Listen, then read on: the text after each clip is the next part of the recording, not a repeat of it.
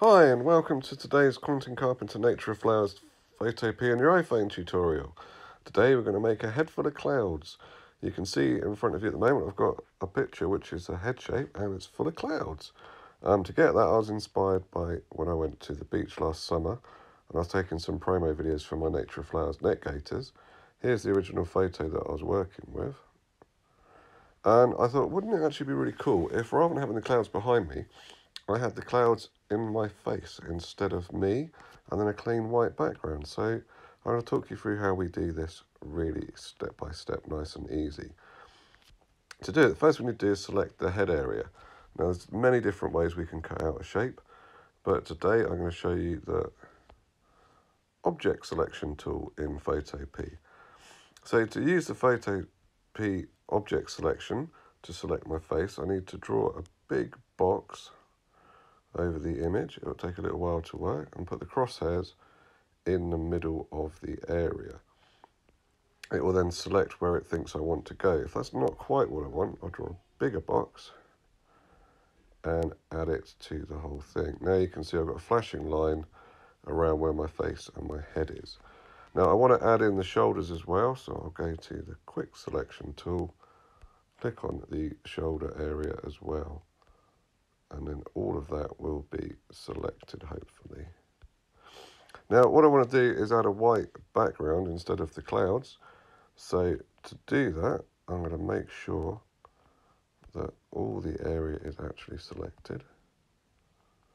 And to do that I'm going to create a, a new layer by clicking the one next to the dustbin and I'm going to hide the original layer so I've just got I should be able to see the flashing line. There it is, perfect. Now, I want to select some white paint down the corner, choose the paint bucket, and I'm going to go select and inverse, so I select the area outside of the face with the paint bucket. I'm going to click it on the screen. You can see I've now got the outline of where my face isn't. I go select, deselect, and then I go back to my layers menu and I've got the background photograph, which I then open. And there you are. That easy to make a really cool head full of clouds. Now there's lots of ways we could experiment with this. We could use the move tool to move the background layer around to see if there's a better area for, oh, make sure we go on the move tool.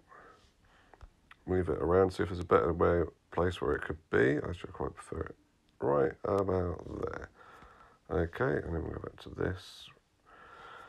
And if we're happy with it, we're going to go File, and we're going to export as a JPEG, and we're going to click OK, and we're going to download it. Okay, brilliant. Well, I hope you've enjoyed that really quick, nice and easy tutorial, how to make a head full of clouds. So just to recap, we've got a layer with the head on it, and we select that area, we create a background, cover it in white, and there you go. Nice and easy. Now, hopefully you can do something similar with some pictures of clouds, or you could do different things. I mean, this is a this is the lead up to a double exposure. I'll be doing a double exposure tutorial in the future, so look out for that one. And if you've enjoyed watching Quentin Carpenter's Nature of Flowers, be sure to give it a thumbs up, tick the like and subscribe. Thank you very much for watching and goodbye.